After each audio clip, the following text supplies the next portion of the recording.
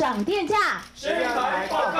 立法院开议前，黄国昌领军党籍立委宣誓新会期目标做 C 位，但是非常的赶哦，所以我们要抓紧时间了。桌上名牌下一秒突然掉到地上，黄国昌也忍不住面露惊讶。这个牌子就这样静静躺在地上，直到记者会结束。而立法院朝野协商达共识，二十号正式开议。但新会期遇上柯文哲涉弊案遭羁押，蓝白还会继续合作吗？我们愿意，等于善意。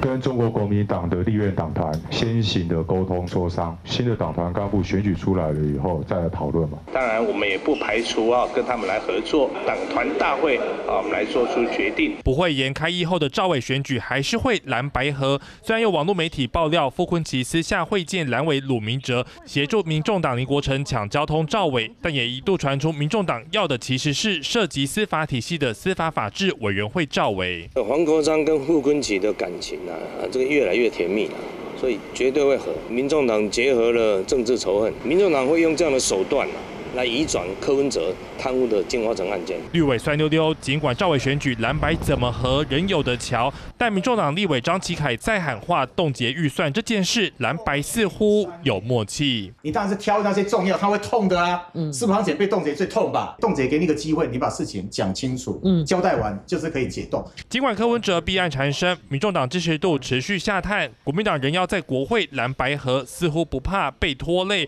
毕竟国会表决想占上风。还是少不了民众党巴西立委。三十五周位，这波台北采访到。